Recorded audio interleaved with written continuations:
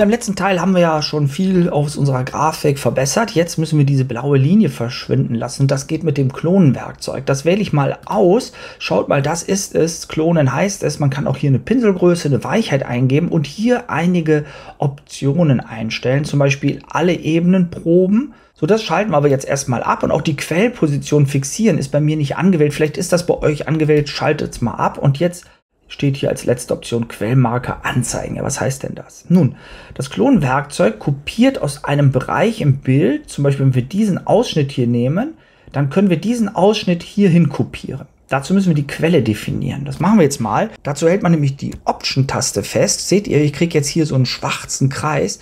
Und jetzt definiere ich die Quelle. Das ist dieser Bereich. Alles, was hier drin liegt, ist jetzt die Quelle.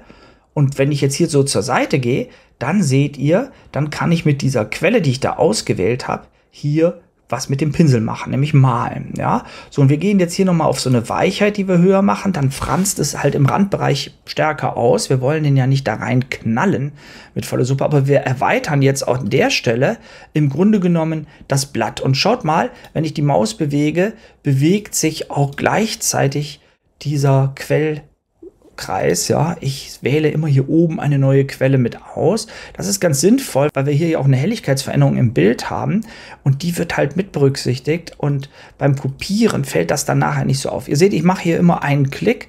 Ihr könnt auch die Maustaste festhalten, um die Linie entlang zu malen, ja. So, und wenn die Quelle dann irgendwann nicht mehr die richtige ist, weil ihr sagt, das passt jetzt nicht so gut, na dann einfach die Option-Taste festhalten, eine neue Quelle auswählen durch Mausklick und dann von der Stelle aus ja weiter klonen und wir malen jetzt im Grunde genommen auf diese blaue Linie, die wir dort haben und erweitern das Blatt.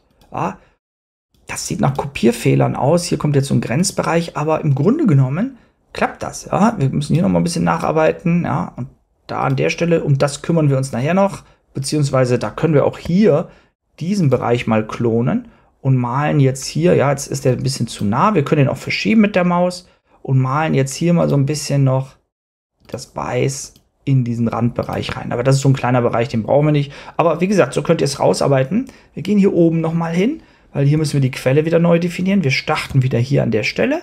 Ja, und wenn die Pinselgröße zu groß ist, dann macht ruhig das Ganze kleiner. Wir können uns hier wirklich in ganz kleinen Bereichen auch rantasten. Je feiner man da arbeitet mit dem Klonwerkzeug, ja, je weniger fallen diese Kopien auf. Ne? Also ihr seht, wie wir das hier so Stück für Stück wegbekommen.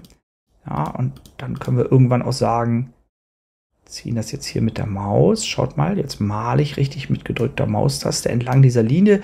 Die Quelle bewegt sich immer relativ zu meiner ja, Position hier weiter. Und schauen wir mal, haben wir hier noch, vielleicht kriegen wir hier noch eine schöne Rundung rein mit dem Mausmalen.